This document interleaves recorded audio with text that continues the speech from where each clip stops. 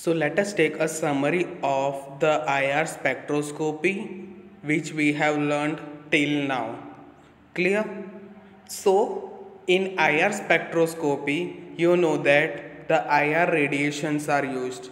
Infrared radiation use होता है IR spectroscopy में अब ये जो इंफ्रारेड रेडिएशन है that comes under the electromagnetic radiation अब इलेक्ट्रोमैग्नेटिक स्पेक्ट्रम मीन्स पहले क्या आता है? Cosmic rays then X rays फिर ultraviolet rays then visible then infrared then microwaves then ultra short waves short radio waves and all that clear तो ये जो infrared radiation है, वो किसके बीच में आता है? In between visible rays and microwaves clear now, infrared radiation is divided into three parts. Near IR medium IR and far IR infrared spectroscopy जो है, वो दो चीज़ के लिए इम्पोर्टेंट है। First is for detection of functional groups functional group के detection के लिए and second is for fingerprinting okay now I R region is divided into three parts near I R region mid I R region and far I R region अब ये जो near I R reason में जो frequency है, वो overtone region है. मैंने कल समझाया था कि व्हाट इज़ ओवरटोन सेकंड जो है, वो मिड आई आर रीजन है. वो किसके लिए है? वाइब्रेशन रोटेशन के लिए. एंड फार आई आर जो है that is only for the rotational region अब नियर आई आर में उसका वेवलेंथ कितना होगा? What is the range of wavelength for near I R radiation that is 0.8 micron to 2.5 micron अब ये जो है इसको इस सेम वेव नंबर पे रिप्रेजेंट करूँ then it will be 12,500 to 4,000 centimetre inverse clear ना मिड आई आर जो वाइब्रेशनल रोटेशनल रीजन में है उसका जो वेवलेंथ है that is 2.5 micron to 50 micron. And the wave number is 4000 to 200 centimeter inverse. Far I R region जो है, उसका वेवलेंथ है 50 to 1000 micron and wave number is 200 to 10 centimetre inverse ये जो है वो near I R mid I R and far I R region है लेकिन आई आर स्पेक्ट्रोस्कोपी में जो मोस्टली जो आई आर रेडिएशन यूज़ होता है that comes under the frequency of 2.5 micron to 25 micron and wave number is 400 4000 to 400 मैंने क्या बोला था 2.5 टू 1 2.5 टू 15 देन मैंने सॉल्व करके बताया था तो उसका रेंज क्या आ रहा था 4000 to 667 that is the most used region for IR spectroscopy Now what is the principle of IR spectroscopy? When infrared light is passed through a sample of organic compound, some of the frequencies are absorbed while the others are transmitted. मतलब जब infrared radiation पास किया जाता है sample में से तब उसमें से कुछ फ्रीक्वेंसी एब्जॉर्ब होते हैं वाइल दूसरे जो है वो ट्रांसमिट हो जाते हैं अब ये कैसे पता चलेगा अपने को from the IR spectra. IR spectra means it is a graph. Graph of absorbance, transmittance versus wave number. Wave number और एब्जॉर्बेंस या ट्रांसमिटेंस का जो प्लॉट होता है जो ग्राफ होता है that gives the I R spectrum but अपने को पता है कि ये जो है इसका रेंज बहुत छोटा है तो मोस्टली अपने क्या यूज़ करते हैं कौन सा ग्राफ यूज़ करते हैं wave number versus percentage transmittance only transmittance नहीं percentage transmittance because the numbers are more manageable number जो है वो मैनेज हो सकता है, जिसके वजह से स्पेक्ट्रम जो है वो एक दूसरे पे ओवरलैप नहीं होगा। उसका रेंज बढ़ जाएगा तो ग्राफ को इंटरप्रेट करना इजी हो जाएगा। See this is an example of an I R spectra यहाँ पे आप देख सकते हो कि नीचे वेव नंबर है एंड साइड में ट्रांसमिटेंस है परसेंटेज ट्रांसमिटेंस तो इसका ग्राफ जो बना हुआ है that is in the range of 4000 to 667 आप देख सकते हो clear so this is the I R spectrum of benzoic acid अब बेंजोइक एसिड में कौन कौन से आई आर स्पेक्ट्रम दिखेंगे? First is of O H group O H group का स्पेक्ट्रम दिखेगा. एंड सेकेंड सी ओ का carbonyl group and O H group दोनों का स्पेक्ट्रम अपने देख सकते हैं। अब ओ एच ग्रुप का जो रेंज है that is in between three thousand two thousand eight hundred और थ्री थाउज़ेंड के बीच में जो ओ एच ग्रुप का आ रहा है एंड कार्बोनिल ग्रुप का कहाँ पे आ रहा है that is coming in between 1800 1600 to 1800 इसके बीच में सी ओ कार्बोनिल ग्रुप का स्पेक्ट्रम मिल रहा है। Now what is the requirement of IR radiation absorption कौन सा रिक्वायरमेंट सैंपल में कौन सा रिक्वायरमेंट होना चाहिए? First is current correct wavelength of radiation If a molecule absorbs radiation only when natural frequency of vibration of some part of a molecule is same as that of the frequency of incident radiation. इसका मतलब क्या है sample जो है वो vibrational motion exhibit करेगा वो भी एक फ्रीक्वेंसी वाइब्रेशन के वजह से उसका सैंपल का एक फ्रीक्वेंसी होगा सिमिलरली आईआर रेडिएशन का भी एक फ्रीक्वेंसी होगा जब ये वाइब्रेशनल फ्रीक्वेंसी एंड आईआर का जो फ्रीक्वेंसी है, दोनों मैच होंगे, दोनों इक्वल हो जाएँगे then only it will absorb the radiation फिर से एक और बार। तुम्हारा जो सैंपल है, वो वाइब्रेशनल मोशन एक्सिबिट करेगा, जिसके वजह से फ्रीक्वेंसी आएगा। वो फ्रीक्वेंसी एंड आईआर रेडिएशन का फ्रीक्वेंसी दोनों जब सेम होगा, तब मॉलिक्यूल आईआर रेडिएशन एब्जॉर्ब करेगा। Now what is the second requirement second requirement is electrical dipole the sample जो है, उसमें डाइपोल मोमेंट होना चाहिए। तो एच में आप देख सकते हो कि डाइपोल मोमेंट है plus delta and minus delta दिख रहा है एच पे प्लस डेल्टा है एंड सी एल पे माइनस डेल्टा है। So, if a frequency of vibration of HCl molecule exactly matches with that coming from the source net transfer of energy takes place मतलब HCl molecule का जो vibration है, वो IR radiation जो source में से आ रहा है, दोनों का frequency मैच हो जाएगा, then what will happen absorption of energy takes place वो क्या होगा? रेडिएशन जो है, वो उसको एब्जॉर्ब कर देगा. वाइल ये जो है, वो एच सी एल के बारे में है और एच सी एल में डाइपोल मोमेंट होता है. लेकिन जो डायाटमिक मॉलिक्यूल्स है such as O two N two C L two उसमें क्या होता है? डायपोल मोमेंट या डायपोल मोमेंट होता नहीं है। So what is happening it does not absorb the I R radiation वो जब आई आर रेडिएशन ही एब्जॉर्ब नहीं कर रहा तो वो आई आर स्पेक्ट्रा भी एक्सिबिट नहीं करेगा। अब मॉलिक्यूल में कौन कौन से वाइब्रेशंस होते हैं? मैंने बोला था कि ये जो मॉलिक्यूल है, वो कौन से मोशन एक्सिबिट करेगा? Rotational motion as well as vibrational motion अब ये जो आयर स्पेक्ट्रा है, उसमें रोटेशनल मोशन का जो इम्पोर्टेंस है वो कम है.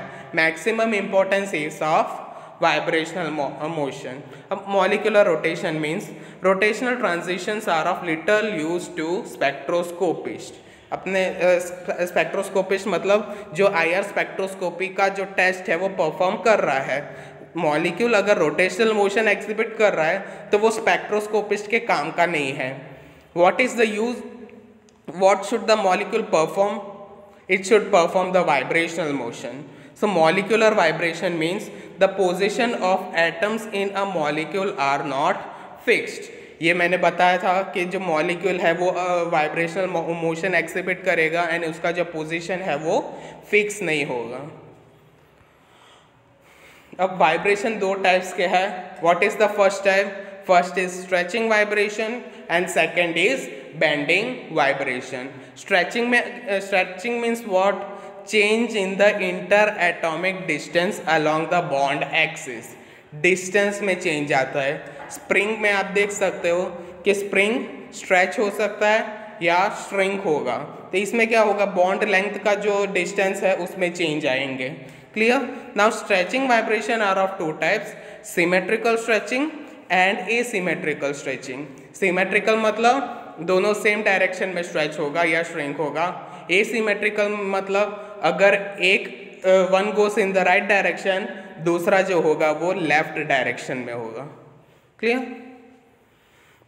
now what are the types of molecular vibration molecular vibration for bending again मैंने बोला था टाइप्स है चार types first is scissoring second rocking third wagging and fourth is twisting अब सीजरिंग एंड रॉकिंग जो है वो इन प्लेन में होता है वैगिंग एंड ट्विस्टिंग दोनों आउट ऑफ़ प्लेन में होता है।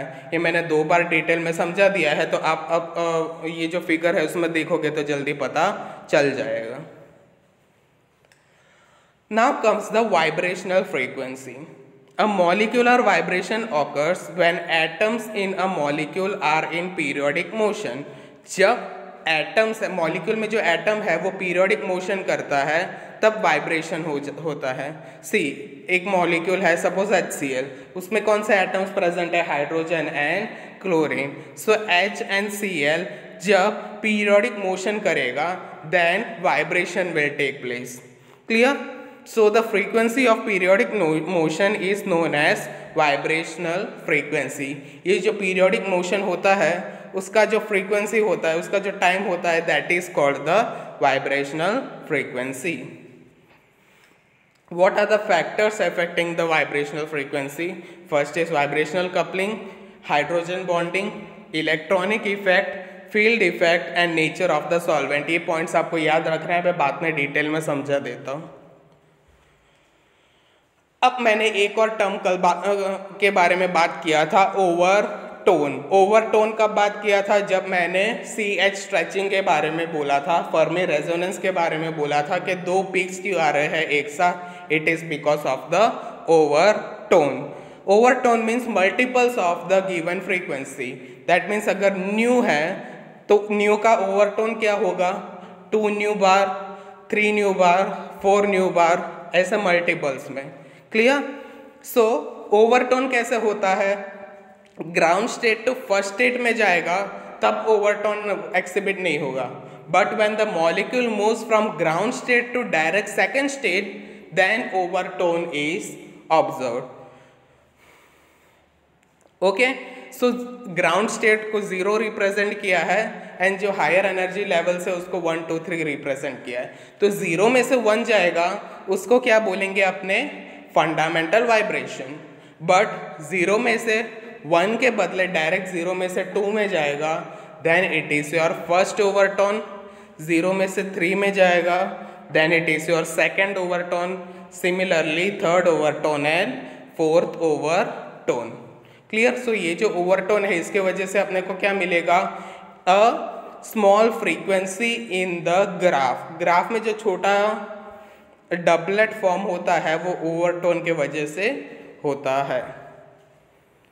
Now we are talking about the instrumentation कल मैंने इंस्ट्रूमेंटेशन करवाया था कि आई आर स्पेक्ट्रोस्कोपी में जो इंस्ट्रूमेंट्स होते हैं, जो पार्ट्स होते हैं, वो कौन कौन से होते हैं? First is I R radiation source second is monochromator second is sample fourth is detector then comes your recorder अब ये जो आई आर रेडिएशन सोर्स है, वो मेनली दो टाइप के होते हैं।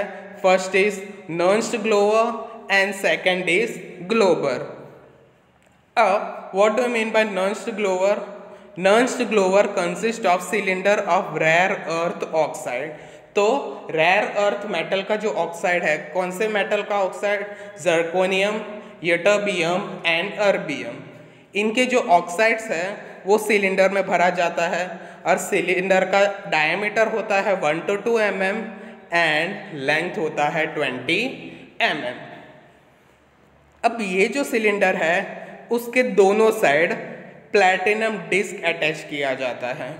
प्लेटिनम डिस्क क्यों? Because platinum is a good conductor of electricity तो इलेक्ट्रिसिटी पास करने के लिए ये जो रॉड है, इसके दोनों बाजू प्लेटिनम डिस्क अटैच किया जाता है। Then it is heated to a temperature of 1200 to 2200 Kelvin, where IR radiations are emitted. तो इसमें क्या होता है? एक रॉड नॉन ग्लोवर में क्या होता है? एक रॉड लेना है। उसके अंदर कौन से गैस भरने हैं? जर्कोनियम यटरबियम या अर्बियम के ऑक्साइड्स भर दिए देन उसको प्लेटिनम डिस्क से बंद कर देना है। बंद कर दिया। अब उसमें इलेक्ट्रिसिटी जब पास करोगे then it will produce the I R radiation Nernst glower का जो वर्किंग है वो कैसा है? Rare earth metals like zirconium ytterbium, erbium have large negative temperature coefficient of electrical resistance. Clear तो इसमें जो होता है वो नेगेटिव टेम्परेचर कोएफिशिएंट है, ये आपको याद रखना है नर्स ग्लोवर में नेगेटिव टेम्परेचर कोएफिशिएंट है। अब नेगेटिव टेम्परेचर कोएफिशिएंट का मतलब क्या है?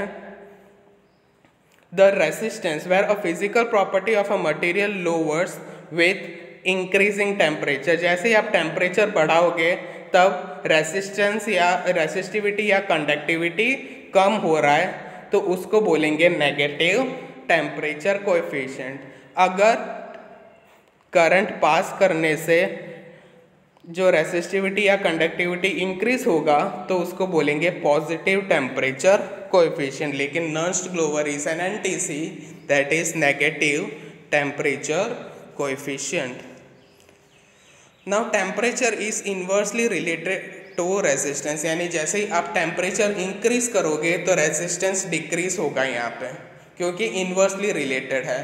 तो आप टेम्परेचर इंक्रीज करोगे तो रेजिस्टेंस डिक्रीज होगा एंड टेम्परेचर डिक्रीज करोगे तो रेजिस्टेंस इंक्रीज होगा। तो at low temperature what will happen high resistance is there ज़्यादा रेजिस्टेंस होगा कम टेम्परेचर पे। क्लियर तो रेसिस्टेंस होने की वजह से उसमें से करंट पास नहीं होगा। ओके तो नर्स ग्लोवर में जब वो नर्स ग्लोवर जब रूम टेम्परेचर में होता है, तब उसमें रेसिस्टेंस ज़्यादा होता है। रेसिस्टेंस ज़्यादा होने की वजह से उसमें से करंट जल्दी फ्लो नहीं होता है। Now as we increase the temperature जैसे अपने टेम्परेचर इंक्रीज करते हैं तो क्या होता है? रेसिस्टेंस डिक्रीज हो जाता है। and because of the decrease in uh, resistance current will flow easily. तो यहाँ पे करंट के क्या रेंज कितना होना चाहिए? 1100 to 1800 now second source of IR radiation is globar globar source किससे बना होता है? वो भी सिलेंडर ही होता है globar source but it is made up of sintered silicon carbide okay? वो जो है, वो सिलेंडर के अंदर गैस भरा जाता है जिरकोनियम ये टर्बियम एंड अर्बियम का। बट इन ग्लोबल सोर्स वो जो रॉड है that is made up of sintered silicon carbide अब ये जो सिलेंडर का लेंथ है, वो होता है 50 मिलीमीटर एंड डायमीटर होता है 5 मिलीमीटर इसमें क्या है? It has positive temperature coefficient this is the major difference between Nernst glower and globar यहाँ पे पॉजिटिव टेम्परेचर कोएफिशिएंट है, इसका मतलब क्या है? At low temperature they provide low resistance to flow the current and as the cylinder gets heated resistance increases allowing the conduction of current okay to avoid excessive heating water cooling is necessary अब इसमें क्या है? जैसे ही temperature बढ़ेगा तो resistance भी बढ़ेगा, क्योंकि ये पॉजिटिव है। पॉजिटिव टेम्परेचर कोएफिशिएंट है। तो इसमें एक लिमिट के बाद टेम्परेचर को बढ़ने बढ़ने से रोकना है। तो to control the temperature we are using the coolers water cooling use करते हैं। तो at at a certain limit the temperature is controlled अब नेक्स्ट जो पार्ट है आईआर स्पेक्ट्रोस्कोपी में that is the filter filter भी होता है एंड मोनोक्रोमेटर्स भी होता है. फिल्टर्स मतलब they are sheet of glass या plastic that simply absorb wavelength other than those required for the analysis तो फ़िल्टर अपने क्यों रखते हैं? See we are passing the I R radiation तो ज़रूरी नहीं है कि फुल आई आर रेडिएशन ही बन रहा है एमिट हो रहा है।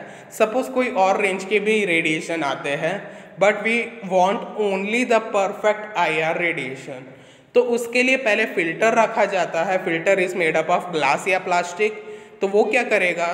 जो एक्स्ट्रा रेडिएशन है, जो अपने काम का नहीं है, वो एब्जॉर्ब कर लेगा। एंड फ़िल्टर में से ओनली जो अपने को चाहिए आया रेडिएशन वो पास होगा। क्लियर अब वो पास होगा फ़िल्टर में से। फ़िल्टर में से पास होके वो कहाँ पे जाएगा? मोनोक्रोमेटर में। Monochromator is made up of prism या ग्रेटिंग मोनोक्रोमेटर में क्या होता है? प्रिज्म होता है या ग्रेटिंग होता है। मोनोक्रोमेटर फ़िल्टर से ज़्यादा कॉम्प्लेक्स है बिकॉज़ फ़िल्टर में ओनली एक शीट होता है जो एक्स्ट्रा रेडिएशन को एब्जॉर्ब कर देता है। लेकिन मोनोक्रोमेटर में क्या होता है? It is made up of a box उसमें एक लाइट प्रूफ बॉक्स होता है और उसके अंदर दो स्लिट होते हैं। एक एंट्री के लिए one slit is for the entry of radiation and the next other slit is for the exit of radiation तो एक स्लिट में से रेडिएशन आता है एंड दूसरे स्लिट में से एमिट होता है। इन दोनों के बीच में क्या रखा जाता है? प्रिज्म या ग्रेटिंग अब प्रिज्म क्या है? Prism is a made up of glass mostly या बी आर वॉट एवर उसका काम क्या है? वो वाइट लाइट को it is dispersed into seven colours ये आप फिफ्थ स्टैंडर्ड से पढ़ते आ रहे हो कि prism disperse white light into seven colours The white light pass through a piece of glass and can be divided into a rainbow spectrum. तो जब प्रिज्म में से white light पास होता है तो वो रेनबो स्पेक्ट्रम बनाता है। लेकिन इस प्रिज्म में क्या होता है कि डिस्पर्शन ज़्यादा हो जाता है। जो वाइट लाइट का जो स्प्रेडिंग है, वो ज़्यादा हो जाता है। तो एग्जैक्ट अपने को जो एग्जैक्ट रीडिंग चाहिए या एग्जैक्ट स्पेक्ट्रा चाहिए, वो नहीं मिलता है। Prism is useful it is okay but जो एक्यूरेट रिज़ल्ट चाहिए, वो अपने को प्रिज्म में से नहीं मिलता है। अब ये जो है वो प्रिज्म का लीनियर डायग्राम है and you know the Snell's law of prism Snell's law is sine theta one upon sine theta two upon sine theta one equals nu one by nu two अब theta one क्या है? Angle of incidence theta two is angle of reflection ये सब आपने lower standards में अच्छे से किया हुआ है and this is just for your information only अब प्रिज्म मोनोक्रोमेटर में क्या होता है? मैंने बोला था कि मोनोक्रोमेटर कैसा होता है? एक लाइट प्रूफ बॉक्स बॉक्स में दो स्लिट होते हैं. First is entrance and second is exit अब एंट्रेंस एंड एग्जिट के बीच में क्या होता है? Collimating lens prism and focusing lens तो इन सब का काम क्या है? Entrance slit allow source radiation to illuminate the first lens which collimates the light spreading it across the face of the prism. Entrance slit में से क्या आ रहा है? रेडिएशन वो किसमें पास होगा? कॉलीमेटिंग लेंस से. क्यों? बिकॉज़ वो कॉलीमेटिंग लेंस रेडिएशन को स्प्रेड करने से रोकेगा एंड वो डायरेक्ट जो भी रेडिएशन है, वो प्रिज्म में फोकस करेगा. तो कॉलीमेटिंग लेंस का काम क्या है? एंट्रेंस में से अगर डायरेक्ट प्रिज्म में आ रहा है then what is happening? uh, somewhat the radiation will get disturbed. लेकिन कॉलीमेटिंग लेंस वो जो रेडिएशन को फोकस करेगा प्रिज्म पे। क्लियर अब प्रिज्म में से वाइट लाइट जाएगा and it will be divided into the seven spectrum अब वो सेवन स्पेक्ट्रम का डायरेक्शन भी कहीं पे हो सकता है। तो वो वो जो डायरेक्शन है उसको कंट्रोल करने के लिए what we are using we are using the focusing lens तो ये जो डायरेक्शन चेंज हुआ है, उन सभी डायरेक्शन को एक ही डायरेक्शन में वो फोकस कर देता है। एंड वो जो डायरेक्शन जहाँ पे फोकस हो रहा है दैट इज़ योर एग्जिट तो वो एग्जिट में से वो रेडिएशन बाहर निकलेगा। प्रिज्म तब सबको पता चल गया। Then comes your grating what is grating it is a device which consist of a series of parallel and closely packed grooves rules on glass or any reflecting surface glass के ऊपर कई सारे grooves होते हैं जिसको अपने बोलते हैं ग्रेटिंग अब ग्रेटिंग जो है उसमें ग्रूव्स का number it determines the type of grating अगर ग्रूव्स है 2000 to 6000 grooves per M mm, तो वो ग्रेटिंग किसके लिए यूज़ होता है? फॉर यूवी स्पेक्ट्रोस्कोपी लेकिन अगर आई आर स्पेक्ट्रोस्कोपी में अपने को यूज़ करना है grating then we should use which grow grating which has 10 to 100 grooves per millimetre grating बनाने के लिए कौन से मटेरियल यूज़ किया जाता है? Quartz NaCl KBr are used for the preparation of gratings. See this is diagram of grating जिसमें नीचे देखो ग्रेटिंग है एंड उसमें कई सारे ग्रोस है। दिख रहा है ना सबको? अब सैम्पलिंग सैम्पलिंग टेक्निक मैंने बोला था कि four types of sampling techniques are there in IR spectroscopy तो first is solid sampling second, liquid sampling. Third is gaseous sampling and fourth is solution sampling. Solid sampling and solution sampling दोनों inter related है, दोनों में ज़्यादा difference नहीं है। तो let us start with gaseous sampling तो गैस सैम्पलिंग में क्या होगा? जो गैस है सैंपल और गैस दोनों को मिक्स किया जाता है एंड उसको एक गैस सिलेंडर में भरा जाता है। एंड वो गैस सिलेंडर डायरेक्टली अपने सैम्पलिंग के बॉक्स में रख देता है। That is the gaseous sampling diagram बाजू में दिया हुआ है। लिक्विड सैम्पलिंग में क्या होता है? एन ए सी एल या K B R N A C L या के बी आर का पैलेट्स होता है या गोली होती है। एन ए सी एल का पैलेट पहले लेना है, उसके ऊपर क्या रखना है? लिक्विड सैंपल एंड उसके ऊपर क्या रखना है? Again N A C L की गोलियाँ। तो first an solid then liquid sample then again N ये तीनों को रख देना है सैंडविच टाइप का बना देना है। Then that sampling is known as liquid sampling ये जो है वो लिक्विड सैम्पलिंग के बारे में डिटेल में दिया हुआ है। बस ये सब तो आपके बुक में भी दिया हुआ है एंड मैंने अभी एक्सप्लेन भी किया था कि what is liquid sampling and all that then comes your solid sampling solid sampling में क्या होता है? एन या के के पैलेट्स बनाने होते हैं. पैलेट्स मतलब गोली. क्लियर तो पहले क्या करना है? एन या के लेना है मोटर एंड पेस्टल में मतलब खल में. खल में ले लिया, उसको पाउडर करना है. उसमें थोड़ा सॉलिड सैंपल डाल देना है। अब NACL एंड सैंपल कितना होना चाहिए? That is two percentage of sample should be use अगर दो ग्राम सैंपल ले रहे हो तो NACL कितना लेना है? 98 ग्राम। तो ज़्यादा NACL लेना है एंड सैंपल कम लेना है। ये आपको ध्यान रखना है। पाउडर बना दिया। पाउडर को अब अब क्या करना है? गोलियों में पैलेट्स में कन्वर्ट करना है।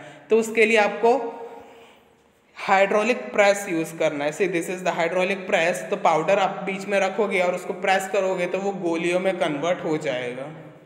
क्लियर वो मैं अब डिटेल में समझाऊँगा। This is just for the information only फिर डाई में से वो बाहर निकलेगा in the form of pellets ऊपर देख रहे हो कि K B R die so वैसे अपने को गोली के फॉर्म में मिल जाएगा नेक्स्ट इज़ मुल्स। सॉलिड में भी अपने को क्या करना है? पेस्ट बना देना है सेमी सॉलिड फॉर्म तो पेस्ट बनाने के लिए यहाँ पे क्या यूज़ किया था? फ़र्स्ट में N A C L and K B R but here we are using nujol hexachlorobutadiene या क्लोरोफ्लोरो कार्बन ये तीनों को यूज़ करना है एंड सैंपल के साथ मिक्स करके पेस्ट बनाना है। क्लियर एंड ये जो पेस्ट है, वो अपने को एन प्लेट्स के बीच में रखना है and we are doing the spectroscopy solid films वो मैंने अभी बताया था कि एन के बीच में एन एंड के का पैलेट्स बना के रख देना है। अब डिटेक्टर की बात करते हैं। Detectors are of various types thermocouples bolometer Golay cell pyroelectric detector and photo conducting detector okay now what is thermocouple it consist of a pair of junction formed when two ends of a metal such as bismuth and antimony are fuse to either ends of dissimilar metal wires मतलब thermocouple जो है वो दो metal से बने हुए होते हैं एंड वो एक दूसरे से फ्यूज एक दूसरे के साथ फ्यूज़ किया जाता है। ये ये डिटेल में पढ़ने की आपको ज़रूरत नहीं, सिर्फ़ आपको याद रखना है कि व्हाट इज़ थर्मोकपल डिटेक्टर के टाइप्स कौन से हैं? टीवाई में इतना ही आएगा डिटेल में नहीं है। Just you have to remember thermocouple second ये भी ये थर्मोकपल इसका डायग्राम बाजू में। दिया हुआ है। Then comes your bolometer bolometer में क्या होता है? विटस्टन ब्रिज होता है। विटस्टन ब्रिज का जो एक पार्ट है, उसको निकाल के वहाँ पे बोलोमीटर लगाया जाता है। इसका जो एप्लीकेशन है, वो मैं बाद में बता दूँगा। This is just for the information bolometer then comes the Golay cell Golay cell में क्या होता है? एक सिलेंडर में जेनॉन गैस भरा जाता है। X E xenon xenon gas भर दिया जाता है। एंड जब इलेक्ट्रिक करंट पास होता है तो जेनॉन गैस एक्सपैंड होता है। वो एक्सपेंशन के वजह से it is detecting the I R spectra Golay cells then pyroelectric detectors pyroelectric detector में भी आपको नाम याद रखना है। Then photo conducting detector photo conducting detector में क्या होता है? It is made up of a semi conducting material semi conducting material मतलब it is partially conducting and partially non conducting तो जब रूम टेम्परेचर पे होता है डिटेक्टर तो उसमें से करंट पास नहीं होता है।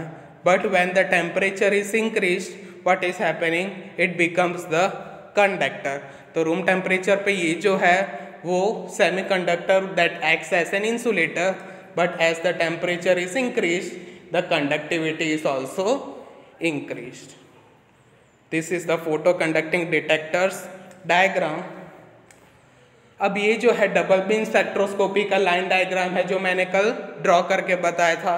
सी रेडिएशन सोर्स है, जो बीच में है, वो दो टाइप के रेडिएशन प्रोड्यूस करते हैं. And it goes to the mirror mirror से अथड़ा के एक जो रे है, वो सैंपल में जाता है एंड दूसरा रेफरेंस में जाता है. दोनों में से अगेन मिरर में जाता है। मिरर दोनों को किसमें फोकस करता है? Again mirror is focusing the IR radiation into what? Into the chopper. Chopper जो है वो यहाँ पे रिप्रेजेंट नहीं किया गया है। चॉपर में से कहाँ जाता है? मोनोक्रोमेटर में। मोनोक्रोमेटर में से डिटेक्टर में जाता है। डिटेक्टर में से एम्पलीफायर में जाएगा। एंड एम्पलीफायर में से रिकॉर्डर में। ये जो डायग्राम है this is the picture of infrared spectrophotometer so अभी तक लोगों ने जो बात किया है, वो इतने छोटे इंस्ट्रूमेंट के बारे में बात किया है। Then comes the application of I R spectroscopy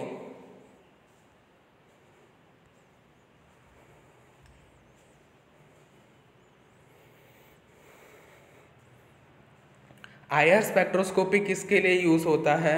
It is use for the identification R spectroscopy is use for the identification of compounds it is use to test the purity of compounds third it is use for the structural investigation fourth polymorphism fifth drug analysis six antibiotics के patents के लिए.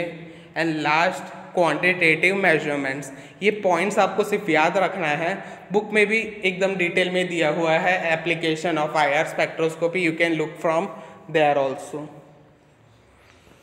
so what are the application of I R spectroscopy infrared spectroscopy is widely use in industry as well as in research infrared spectroscopy कहाँ पर use होता है? Industry में भी use होता है एंड रिसर्च फ़ील्ड में भी यूज़ होता है।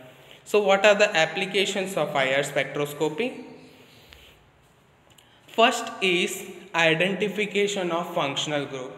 Group के आइडेंटिफिकेशन के लिए एंड स्ट्रक्चर डिटर्मिनेशन के लिए आई आर स्पेक्ट्रोस्कोपी यूज़ होता है ये जो एंटायर आई आर स्पेक्ट्रा है, वो कितने पार्ट्स में डिवाइड हुआ है, वो मैंने बताया था it is divided into two parts first is the fingerprint region and second is the functional group region.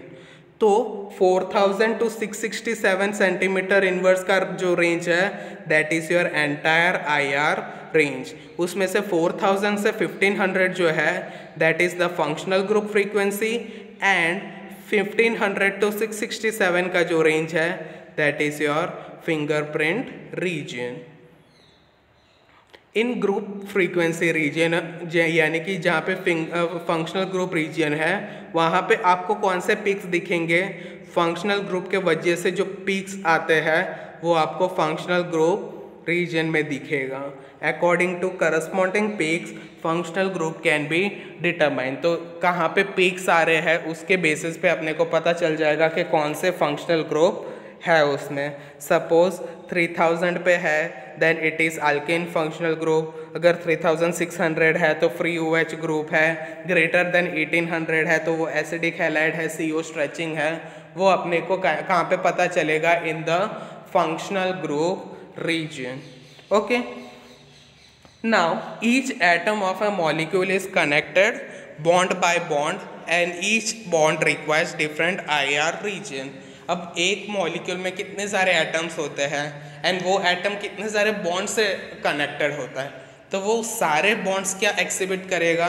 I R spectra आई तो वो जो आई आर स्पेक्ट्रा है, उसका कैरेक्टरिस्टिक पीक होगा। उसका जो पीक होगा, वो अलग अपने को दिखाई देगा।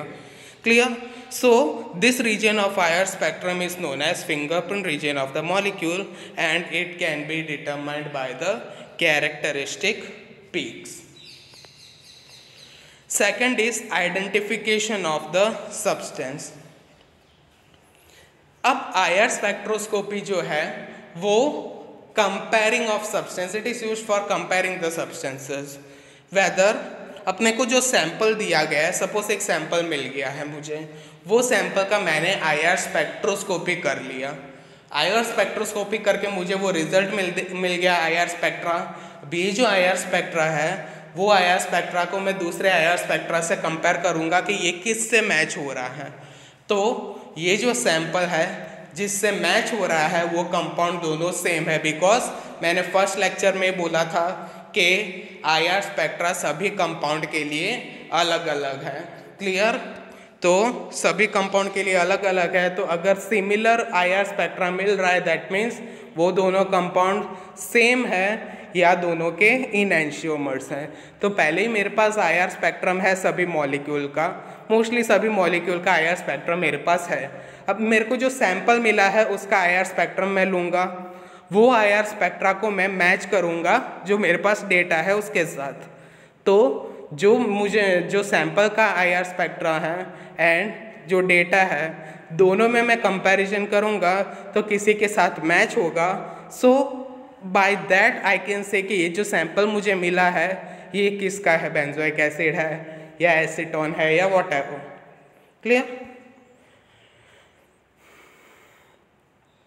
the third application is studying the progress of the reaction see अपने ऑर्गेनिक केमिस्ट्री में what we are doing we are doing the reaction तो पहले अपनों ने दो रिएक्टेंट को मिक्स कर दिया और प्रोडक्ट बन रहा है। लेकिन मुझे कैसे पता चलेगा कि रिएक्शन कंटिन्यू हो रहा है कि यहाँ पे रुक गया है? तो उसके लिए what I have to do progress of the reaction can be determined by examining the small portion of reaction mixture drawn from time to time थोड़ी थोड़ी देरी में अपने को रिएक्शन मिक्सचर में से थोड़ा सैंपल ले लेना है एंड उसका आई आर स्पेक्ट्रोस्कोपी करना है। The rate of disappearance of the characteristic absorption band of the reactant group or the rate of appearance of the absorption band of the product due to the formation of product is observed. तो मैंने starting में जब I R spectra लिया तो वो उसमें जो bands दिखेंगे वो किसके होंगे जो मेरे रिएक्टेंट्स के हैं थोड़ी देर बाद में क्या देखूँगा तो क्या होगा बैंड्स कम हो रहे हैं दैट मीन्स रिएक्टेंस डिक्रीज हो रहे हैं एंड दूसरे नए बैंड बन रहे हैं। वो कौन से बैंड है? वो प्रोडक्ट्स के बैंड हैं। तो आई स्पेक्ट्रा में मुझे क्या दिख रहा है? कई बैंड डिक्रीज हो रहे हैं एंड कई बैंड इंक्रीज हो रहे हैं। जो डिक्रीज हो रहे हैं वो किसके बैंड्स है? That is of the reactant and जो इंक्रीज हो रहा है that is of the product next application of I R spectroscopy is detection of impurities तो इम्प्योरिटीज के डिटेक्शन के लिए भी आर स्पेक्ट्रोस्कोपी यूज़ होता है। सी मेरे पास एक सैंपल है। उसका मैंने आई आर स्पेक्ट्रोस्कोपी किया। लेकिन जब मैंने आई आर स्पेक्ट्रोस्कोपी किया तो मैंने देखा कि यहाँ पे कुछ एडिशनल पीक्स मिल रहे हैं। जो ये सैंपल का है ही नहीं। तो ये जो पीक्स है that is of the impurity जो इम्प्योरिटी तुम्हारे सैंपल में है, वो सैंपल के वजह से, वो इम्प्योरिटी के वजह से यहाँ पे मुझे अलग पीक्स मिल रहे हैं। तो आई आर स्पेक्ट्रोस्कोपी के मदद से मैं देख सकता हूँ कि मेरा जो सैंपल है, वो कितना प्योर है और उसमें कितना परसेंटेज इम्प्योरिटी प्रेजेंट है। Next is quantitative analysis The quantity of any substance can be determined either in pure form or as a mixture of two or more compounds. अब क्वांटिटी कितना है सैंपल में compound का? वो अपने I R spectroscopy से calculate कर सकते हैं। इसमें क्या करना है? Characteristic peaks corresponding to the drug substance is chosen and log of I zero slash I T of the peaks for standard and test sample is compared अब ये जो है ग्राफ के थ्रू रिप्रेजेंट किया जाता है, ये थोड़ा डीप में आपको करना होगा, लेकिन बीएससी में आपको इतना डीप में जाने की ज़रूरत नहीं है बट इतना याद रखना है कि क्वांटिटेटिव एनालिसिस में ये यूज़ होता है। क्वांटिटेटिव एनालिसिस मीन सैंपल में कितना क्वांटिटी कौन से सब्सटेंस का है, वो कैसे अपने को फाइंड आउट पता चलेगा by the plotting the graph of log I zero slash I T clear so this is the basic concept for IR spectroscopy. Okay?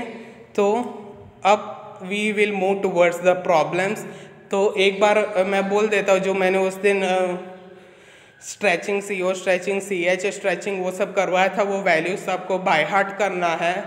And मैं एक और बार ये आई आर स्पेक्ट्रोस्कोपी का डायग्राम मैं बना दूँगा एंड वो एक और बार डिटेल में समझा दूँगा बट उससे पहले आपको ये वैल्यूज़ बाय हार्ट करना है। अगर वैल्यूज़ बाय हार्ट नहीं करोगे तो आगे की जो प्रॉब्लम्स है, उसमें आपको कुछ पता नहीं चलेगा। So first of all you you refer the last lecture and उसमें जो मैंने वैल्यूज़ करवाया था, वो आपको बाय हार्ट करना है। Okay okay?